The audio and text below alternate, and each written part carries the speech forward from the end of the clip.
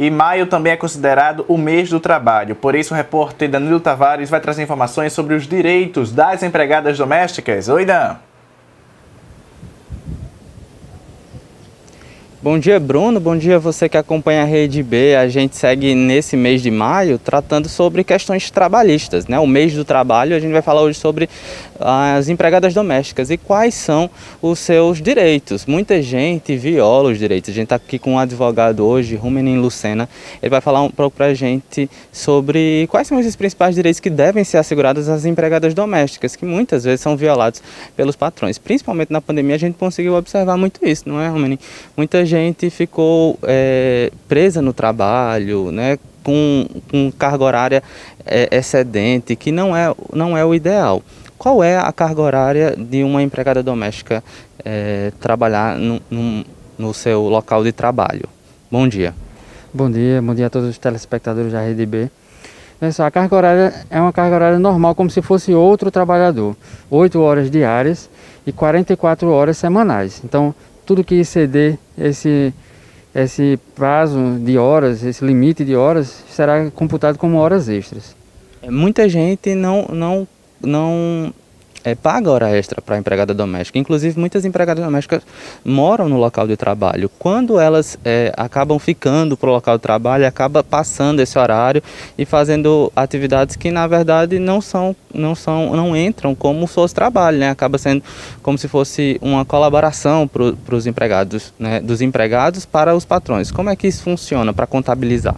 Bom, é, muitas, muitas situações acontecem quando o patrão ele chega para a empregada, não, você é da família, né? Isso é comum acontecer e aí vai extrapolando aquela jornada de trabalho, mas é importante sempre que a empregada doméstica ela registre a sua jornada de trabalho, seja cartão de ponto ou meio eletrônico ou manual, mas um caderninho ali, o livro ponto, é importantíssimo para no futuro.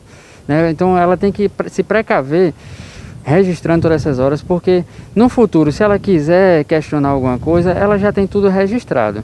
Aquelas pessoas que residem no trabalho, também é importante nunca deixar de, de registrar.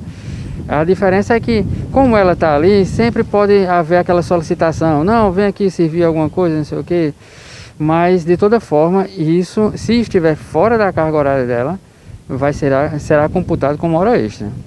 O que acontece também muitas vezes é de, em alguns casos, é, as trabalhadoras serem informais, não serem registradas. E aí acabam é, abrindo mão de alguns direitos, como FGTS, como férias remuneradas. O, se isso acontecer, isso não pode acontecer, na verdade, né?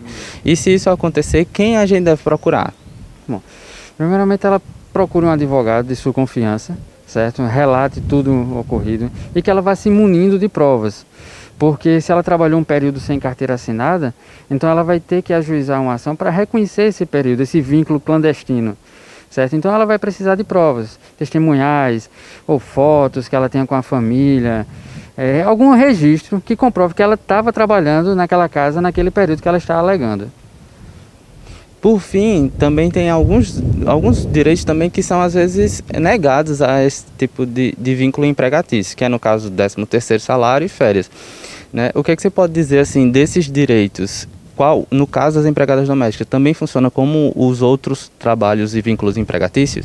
Funciona da mesma maneira. Está assegurado a partir de desde 2015, a Lei Complementar 150, que foi quem regulamentou né, as empregadas domésticas, ela trouxe esse benefício, né, 13 terceiro, férias, FGTS, INSS. Então assim, são benefícios para a empregada doméstica, mas para aquelas que estão registradas.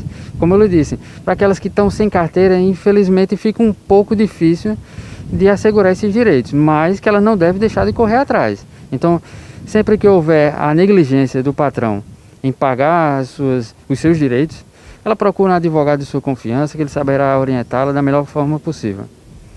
Muito obrigado, doutor Rumenin. Luciana, então, Bruno, eu volto com você aí no estúdio e aí as pessoas que, são, que, que exercem esse tipo de trabalho sofreram muito durante a pandemia e devem procurar os seus direitos caso se sintam lesadas. É com você aí no estúdio.